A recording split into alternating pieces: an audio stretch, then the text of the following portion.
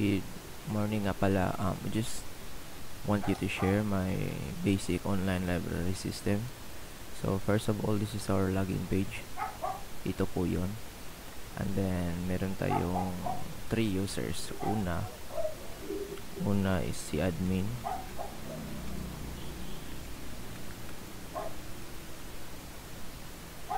Um, let's wait for a while. Um, mali. Admin 1, 2, 3. Admin 1, 2, 3. Ayun. So, si admin, makikita niya list of users. And then, he has the ability to ban users. Ito po. So, second, meron tayong student. Pangatlo, meron tayong librarian.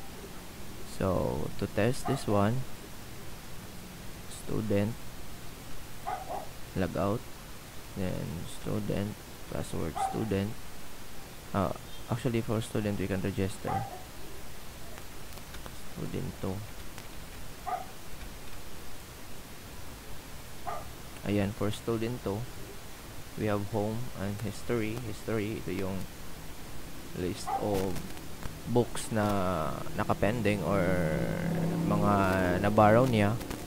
So here we have our basic search and then if you want to reserve ayan. So meron tayong trappings dito. Um someone request for reservation that means you.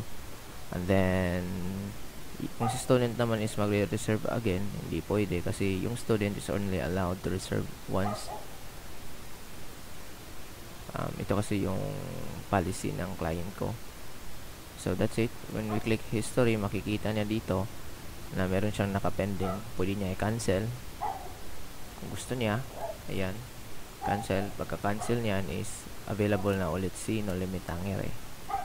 So, that's for the, our second user. The third is the librarian which makes the dirty working.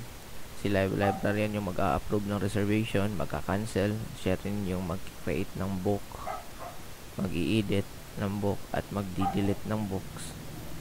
Um, ano pa ba? Pwede din siyang mag-automatic reserve dito. Then, in history, makikita niya lahat. As what I've said a while ago, history. Then sa report naman, makikita niya dito lahat ng report.